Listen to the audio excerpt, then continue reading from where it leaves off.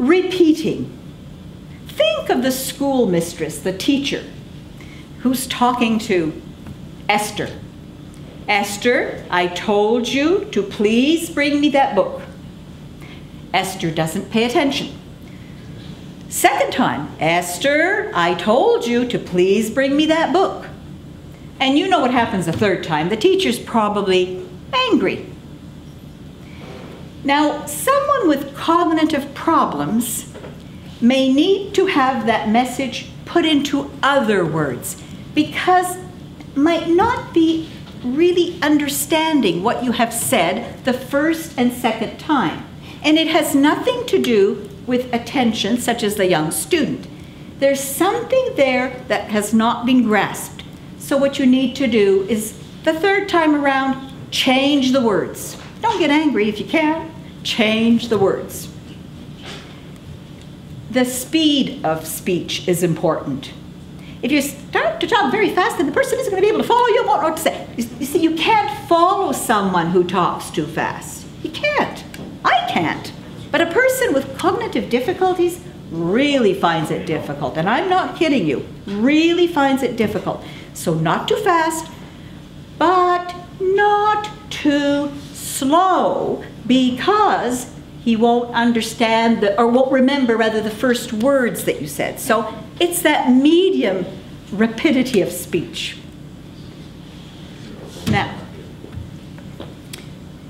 another strategy is that we do not use words that are newer words. And you know, some of those words around the use of computers really are new words in our vocabulary. And I've just listed a few here, Twitter and Facebook and you know, Apple computer. I mean, what's an Apple computer to someone who doesn't even know what computers are? And you just talk about an Apple computer, well, he's going to think of apples, right? Not computer. And tsunami, like that's a fairly new word. I didn't know what a tsunami was till we had that tsunami out in the, in, in what was it, the Indonesia, I guess it was, out that direction. So new words, the new words that have come into one's vocabulary should really be avoided. The length of sentences. Think in terms of six to eight words maximum. Okay? And I've given you a few examples. Let's go for lunch. Four, four words. Would you like to go shopping? Six words. Did you see Brian? Yes, he was sitting back there and he's gone. Doctors are busy men. So, just to give you an idea, six to eight, like that's really maximum. So if you have a tendency to talk in long sentences, as they say in French, oublie ça, cut it down, make it short. The shorter, the better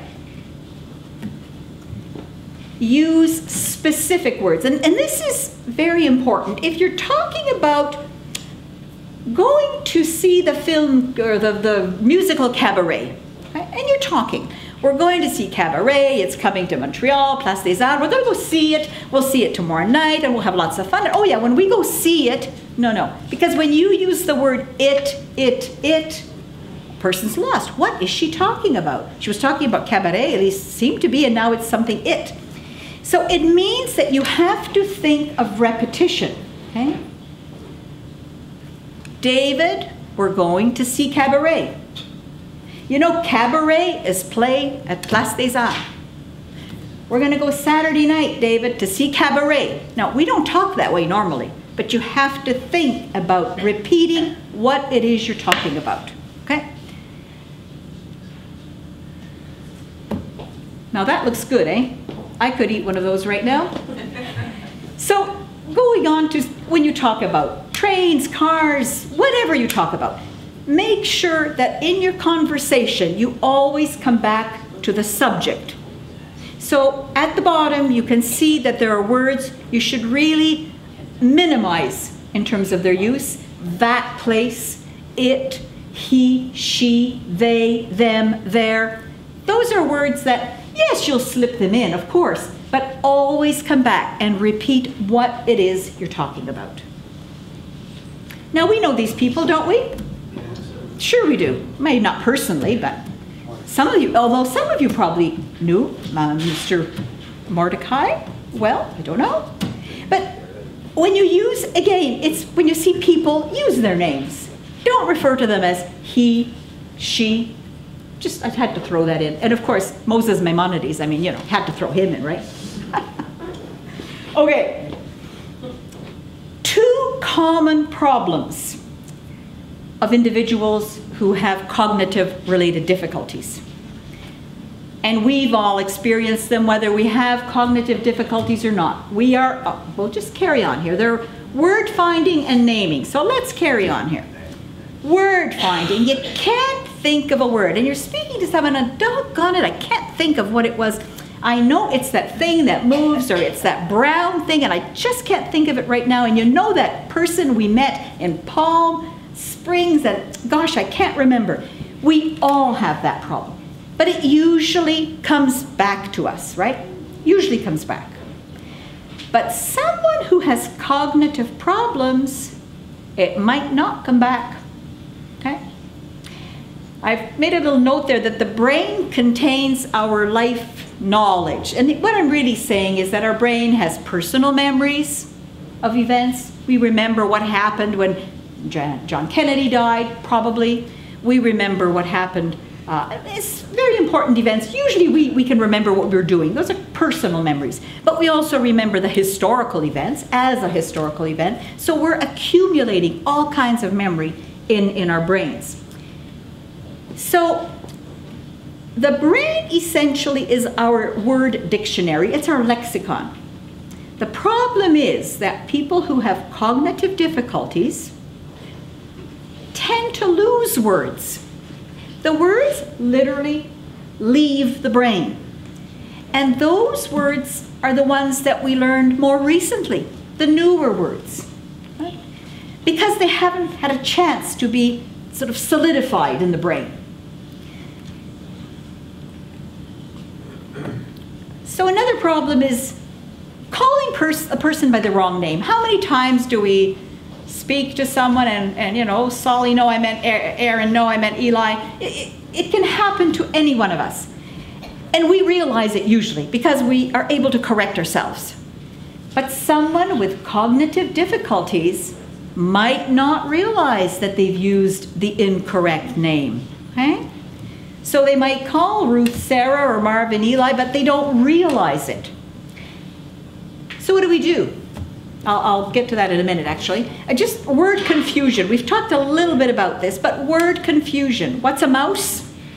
Well, most of us think it's a thing that moves around and eats cheese, and but it's a mouse is also something that's hooked up to a computer, right? This is a mouse. Okay? But there are many people of a certain generation that still aren't quite clear on what a mouse is, other than that mouse that eats cheese. Twitter well, most of us have been used to the word Twitter in, in relation to birds, right? Birds Twitter. But today, what they Twitter is this stuff they do on the, on the internet or on the computer. I know my kids Twitter. I don't know about yours. I don't. And the Apple computer. There you are. There's another one. Okay, strategies for dealing with these difficulties. So if someone cannot find the word, they're trying, you know, I'm just trying to think of it. I'm, you know that place we went to? Well, try to help them, and maybe you'll be able to. But if you cannot, leave it. Just leave it. Do something else. Forget about it at the moment. It might even come back to you what the individual was trying to tell you. Okay? And as I've mentioned before, the recently learned, less used words are the ones that are tend to be lost from our brain dictionary. And what do we do if we call someone by the wrong name? Well, sometimes you can help the person slip in the right name. Diplomatically, always diplomatically. But you know, if it's not possible, leave it. Ruth knows that it, she was really Sarah. You know, so what, what doesn't matter, or that, he, that when he called her Sarah, she was really Ruth, excuse me. Don't make an issue of it. It just isn't something to be concerned about. It happens to all of us, but it can happen more regularly to someone with cognitive difficulties and does.